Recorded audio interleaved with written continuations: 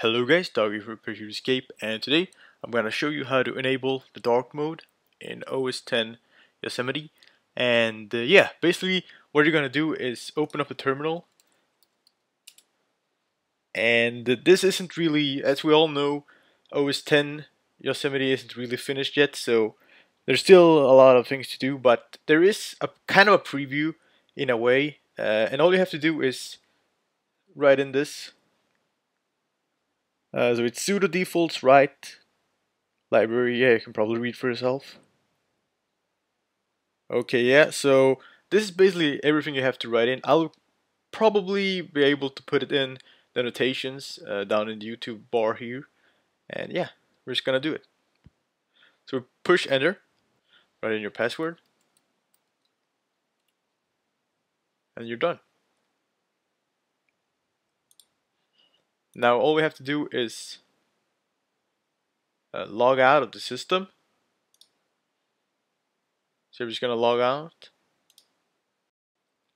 And then you just have to restart your computer and here we go. You can see it really looks nice. Uh, of course they haven't really finished all of these uh, icons yet so they look a bit weird. Uh, dark on dark here.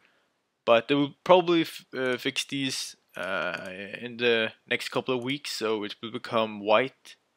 Uh, but other than that, you can see for yourself, it looks really nice, extremely nice in my opinion, and I do prefer this a lot over the the original light one.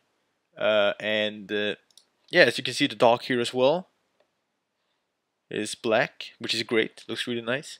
Uh, and if you don't want to have this, for example, if you if you don't feel like it, uh, you can just go back to change. Oh, it didn't save, but it said it said something like enable dark mode or something like that.